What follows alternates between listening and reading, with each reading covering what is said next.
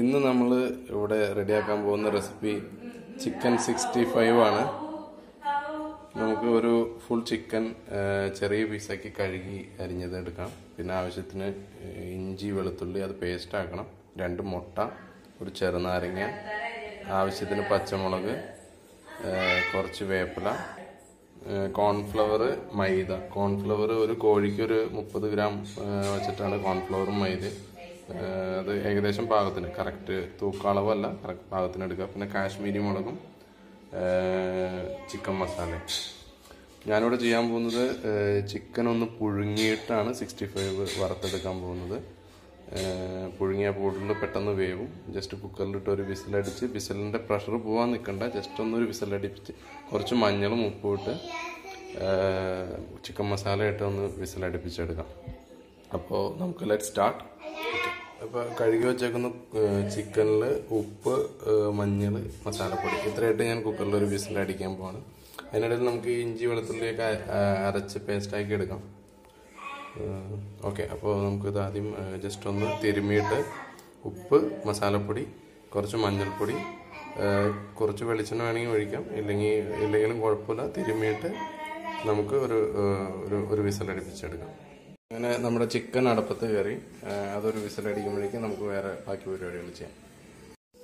നമുക്ക് നമ്മുടെ മസാല ഉണ്ടാക്കാനുള്ള പാത്രം ഒന്ന് തുടച്ച് ഹീറ്റാക്കി എടുക്കാം.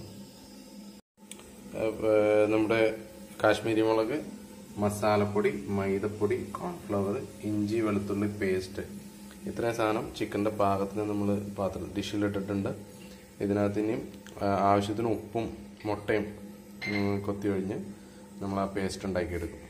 നമുക്കിനി മുട്ട പൊട്ടിച്ചൊഴിക്കുക ഇതിനകത്തേക്ക്. ഓക്കെ രണ്ട് മുട്ടയാണ് പൊട്ടിച്ചൊഴിക്കുന്നത് ഒരു ചിക്കൻ ആയതുകൊണ്ട് രണ്ട് മുട്ട രണ്ടോ മൂന്നോ ആവും. രണ്ടെണ്ണം കറക്റ്റായിരിക്കും ഇനി നമുക്ക് കുറച്ച് വെള്ളവും ഉപ്പ് ഞാൻ ഇട്ടിട്ടുണ്ട്. അതോടെ മിക്സ് ചെയ്ത് മസാല ഉണ്ടാക്കി ഞാനതിന്റെ ഗ്യാസ് കളഞ്ഞെടുക്കുകയാണ് ഇതാണ് നമ്മുടെ മസാല. ഈ മസാലയ്ക്ക് തൈരോ നാരങ്ങ നീരോ പിഴിഞ്ഞൊഴിക്കണം അപ്പോൾ നാരങ്ങ നീര് നമുക്ക് ഒഴിക്കാം. ഒരു ഫുൾ നാരങ്ങ ഒരു ചിക്കനായത്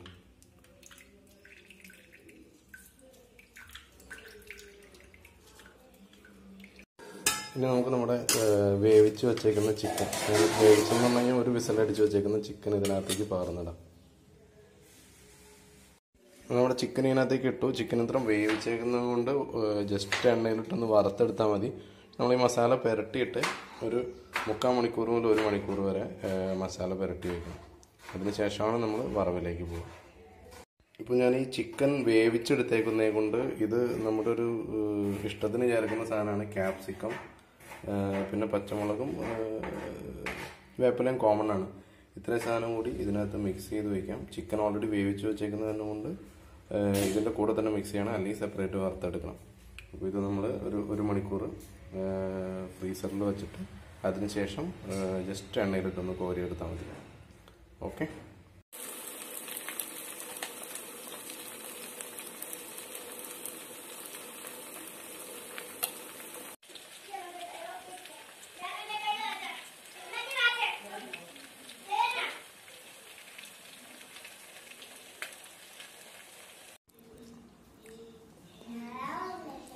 ഇതാണ് നമ്മുടെ ചിക്കൻ സിക്സ്റ്റി ഫൈവ് ക്യാപ്സിക്കം മുളക് വേപ്പല എല്ലാം മിക്സായിട്ട് വെള്ളം കുറച്ച് കൂടിപ്പോയി.